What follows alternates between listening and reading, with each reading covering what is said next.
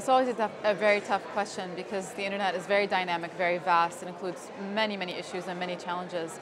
Um, I think the question of disinformation is something that we're all looking at uh, as lawyers, as professors, as technologists, and um, I think that's a big, big issue, especially when it plays with our uh, social contract and how we envision democracy to look like. Uh, but I think the most important issue still is uh, the proliferation and um, and pervasiveness of our own data everywhere.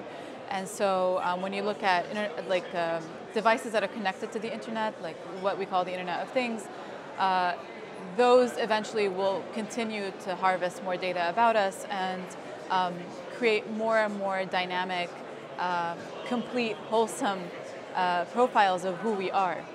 And we need to be very vigilant and careful about who has access to that information. I think to me, that's the most important thing, whether it means surveillance by private companies or it means surveillance by state actors, uh, whether it means uh, increasing my insurance premiums because I took a Coke out of my fridge, things like this. I think our data being everywhere is a big problem, and I see it as one of the biggest challenges that we are facing today as people with the internet and with uh, companies that are um, uh, making the most of it uh, for good and bad again.